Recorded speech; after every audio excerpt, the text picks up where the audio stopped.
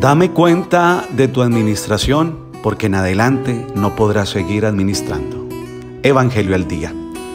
Ante tal astucia mundana, nosotros estamos llamados a responder con la astucia cristiana, la sabiduría, la prudencia, el correcto pensar, que es un don del Espíritu Santo. Se trata de alejarse del espíritu de los valores del mundo que tanto gustan al demonio para vivir según el Evangelio y la mundanidad, ¿cómo se manifiesta? La mundanidad se manifiesta con actitudes de corrupción, de engaño, de abuso y supone el camino más equivocado, el camino del pecado, porque uno te lleva al otro. Es como una cadena, aunque sí, es verdad, es el camino más cómodo de recorrer generalmente.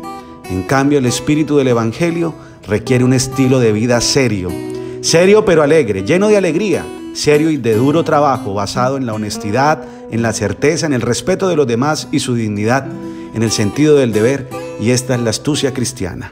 Hijitos, Dios me lo bendiga en el nombre del Padre, del Hijo y del Espíritu Santo. Amén.